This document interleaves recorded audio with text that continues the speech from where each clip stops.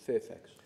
Uh, thank you very much, Deputy Speaker. And I rise today to give voice to 15,000 Australians, 15,000, and their families, who only a week ago were told that an insulin drug that they'd become very reliant upon has been taken off the Pharmaceutical Benefit Scheme, the PBS. 15,000 Australians have been using this drug called Fiasp. Now, Fiasp improves the blood sugar control for people with type 1 diabetes.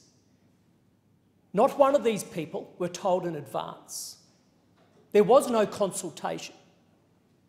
For a family that buys the Fiasp drug today, a script costs $7. $7. Now that it's taken off the PBS, that script will cost $280.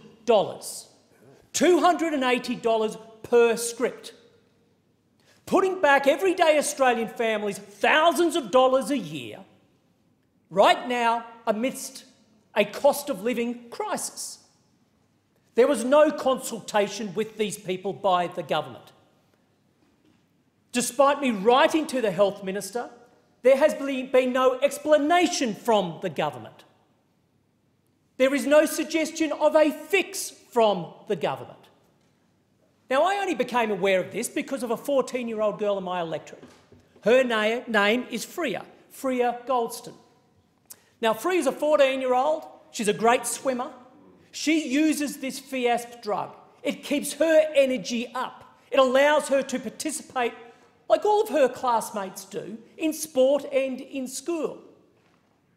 But Freya and her mum Jackie will now have to scramble before the 1st of April. The 1st of April is when this becomes effective.